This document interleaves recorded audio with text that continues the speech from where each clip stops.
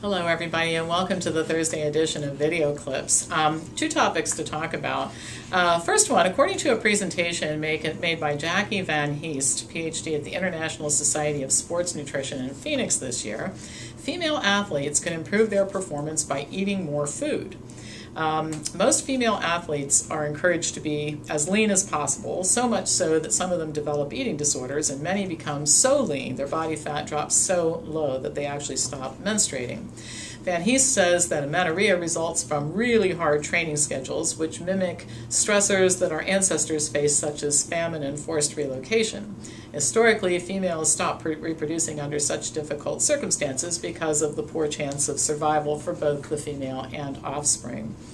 Van Heest reported the results of a longitudinal study conducted by her and her colleagues that involved measuring the hormone levels of elite female swimmers during an entire season. So they covered, um, including, uh, they covered a period of time that included increasing training, reaching peak performance, and then tapering off before uh, various competitive events. The researchers found that women who continued to have regular menstrual periods during the entire training cycle, the entire season, improved their performance more than women who had stopped menstruating demonstrating.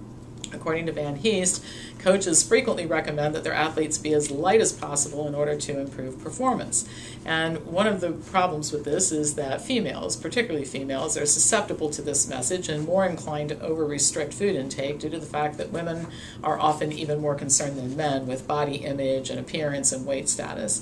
This restricted intake combined with hard training results in uh, much lighter and more what you might call ripped athletes, which is long, believe, long believed to lead to better outcomes in terms of performance. But Van Heest says that the slightly heavier athlete who is eating more in order to maintain normal hormone levels can outperform a leaner, lighter, more ripped competitor.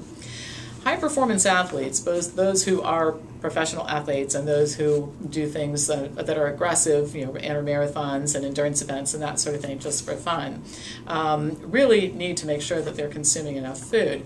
And it's very interesting because the protein issue comes up all the time with athletes, as some of you know.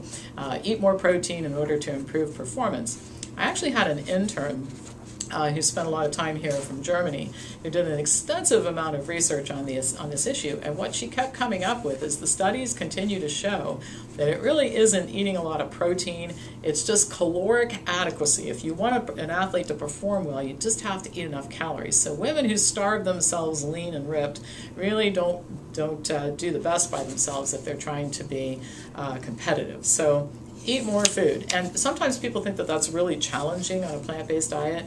It really isn't. It's a matter of adding extra food to each meal and sometimes inserting a couple of meals in the day. And we show athletes how to do this all the time. We'll show them, hey, for somebody like me, this is what um, you know lunch might look like. You're going to eat the same lunch. You're just going to eat bigger portions of some of it, and you would eat a bigger meal uh, after you work out a couple times a day and, and that sort of thing. And it's actually quite easy to do. We have some elite athletes who've worked with us that eat as much as 5,000 calories a day. All right, the next topic is dreadful, but we have to talk about it. Chemotherapy.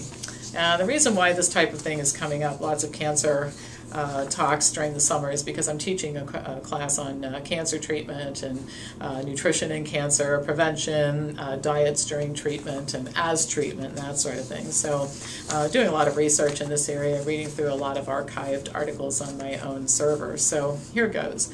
Um, chemotherapy, while it can be an important tool if used in the right way for the right types of cancer patients. Um, and some people are surprised at that. I, have always cautioned people don't throw the baby out with the bathwater. We, we don't use chemotherapy very effectively in this country, but it can be effective when used properly. Um, the problem is that it's overprescribed and it's often recommended to patients that have absolutely no chance of benefiting from it. The reason why cancer patients seek treatment is they want to live longer, which means that any treatment that we offer to cancer patients should be judged by how much it actually increases survival uh, or longer life. And so if an oncologist recommends chemotherapy, he or she should be able to show that doing this particular course of treatment is going to lead to longer survival time. But that's not the case for many patients. For example, a review looking at the survival benefit for adult cancer patients that could actually be attributed just to the chemotherapy in Australia and the United States showed that the overall contribution of chemotherapy to five year survival, and by the way, the fact that five years is the benchmark um, is very disturbing to me because um, a 45 year old person is really not interested in living to 50. They'd like to live their full lifespan, all right? But let's go with it for now. So, how much of the total survival could you attribute uh, to chemotherapy for five year survival? 2.3% in Australia, 2.1% in the United States. And of course, chemotherapy um, has a lot of side effects, and, and um, for some people, they might look at that risk benefit ratio and say, you know, for a couple points, I'm not going to do it. The researchers concluded, quote, to justify the continued funding and availability of drugs used in cytotoxic chemotherapy, a rigorous evaluation of the cost effectiveness and impact on quality of life is urgently required.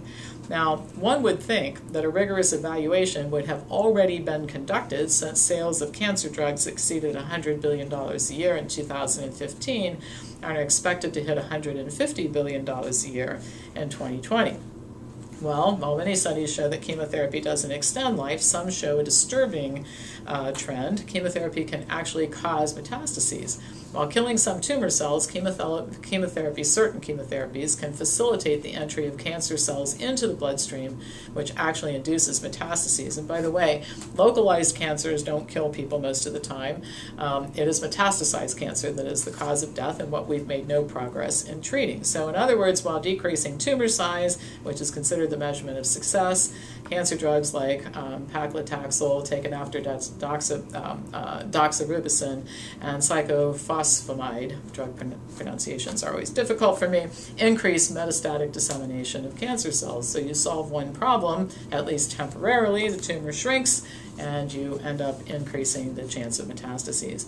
By the way, this is not the only other study. I was able to find three other studies showing that um, commonly used chemotherapy cancer drugs induce metastases, and they're included in this article. So one might ask the question, and I think it's a legitimate one, why are these drugs so widely prescribed? Where does the enthusiasm of oncologists come from? Well, as you might imagine, some of it is due to the conflicts of interest inherent in oncology. Oncologists are some of the highest paid doctors in the world, and their income is increasing faster than many other specialties. And this is due to what is called the chemo concession. Oncologists are able to purchase chemotherapy drugs at wholesale and sell them at retail in their office, and the retail profit is as much as two thirds of their practice income. Now, this is an awful system that can turn even the most well intentioned physician into an enterprising profiteer. I've often said that one of the problems we have today is good people being forced into bad institutions and bad institutional settings. It's how ethical people become compromised. One of the manifestations of this system is that because oncologists have a vested financial interest in what their patients do, many of them are not geeked up about alternatives to chemotherapy because patients who seek alternative care spend their money elsewhere. Now, there are undoubtedly good doctors who've not been corrupted by this awful situation. There are some we know that have been. Dr. Richard Ablin, a personal friend of mine, describes just such a situation in his book, The Great Prostate Hoax. Dr. Hakon Ragde, MD, is an internationally renowned urologist from Norway who developed a method of treating prostate cancer that proved to be very effective in high risk patients. He relocated his research project to California, but he ended up going back to Norway, explaining to Dr. Ablin, quote, we had to close our clinical trial. Oncologists in the area referred patients for the trial until they saw the good results. It scared the hell out of them to think that a simple and relatively inexpensive treatment that works might be under development. One guy confided to me that he loved the treatment, but he had three kids to put through college. Doesn't that just make you a tiny bit nauseous? The biggest problem with all of this, in my opinion, none of this information about things like efficacy, chance for metastases, conflicts of interest, is shared with patients prior to their making a decision about treatment. I think it is almost certain that many patients would make different decisions if this type of information was disclosed. And furthermore, many times cancer patients are pressured by well meaning family and friends who say you should listen to your doctor's instructions. This idea that you're going to do something else is insane. I think if they saw this type of information, they might back off of that dogma just a little bit. Current treatment for cancer results in a predictable pattern. Cancer patients are told they'll get the best available treatment, which really isn't true in many cases. The treatment appears to work in the short term because the tumors shrink. And then the cancer begins to progress again, this time more aggressively than, than before. The cancer patient realizes that he or she did not benefit from the treatment and starts looking for alternatives. But many things that might have been beneficial at one time, or maybe even um, reverse the cancer, are not effective with more aggressive cancer and a weakened body due to treatment. The time to ask questions and look at evidence is before, not after beginning any course of treatment for cancer.